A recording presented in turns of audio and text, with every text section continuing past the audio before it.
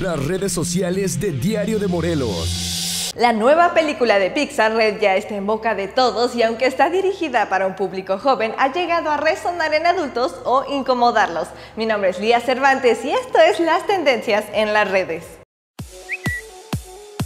Con inclusiones jamás antes vistas y miles de niños y niñas representados, Turning Red pone la barra muy alta. Red cuenta la historia de un adolescente de 13 años que lleva su vida bajo control, hasta que un día se levanta y se da cuenta de que es un panda rojo gigante. Dirigida por Dome Shi, Red es la primera película en Pixar en ser dirigida por una mujer y su propósito es claro, romper el tabú de la menstruación, aceptar la pubertad para comenzar a tomar nuestras propias decisiones y ya no permitir que nuestros padres definan quiénes somos.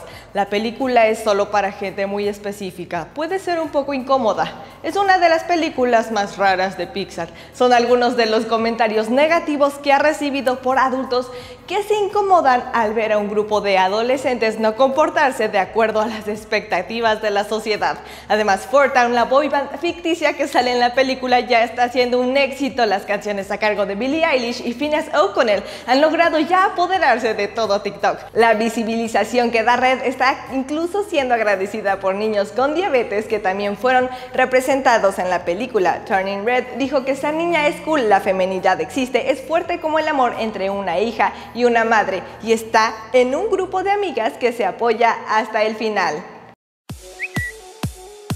Al fin Disney saca el primer tráiler de Miss Marvel, la historia de Kamala Khan en una producción que combina el estilo cómic con lo real, la adolescente que es mega fan de los superhéroes y termina por obtener sus propios poderes como grandes saltos o crecer a tamaños gigantes. Miss Marvel llegará de manera exclusiva a la plataforma de Disney Plus el próximo 8 de julio.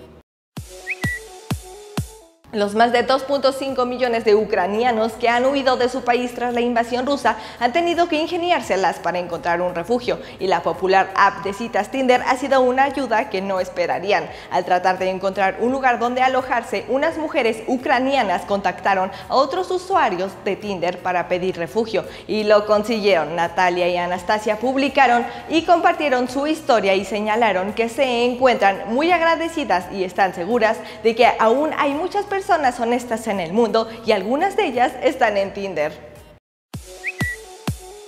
Así que cuéntanos si tú también ya eres fan de la boy band del momento, Fort Town. Mi nombre es Lía Cervantes y esto es Las Tendencias en las redes. No te olvides de seguirnos en nuestras redes sociales. Las redes sociales de Diario de Morelos.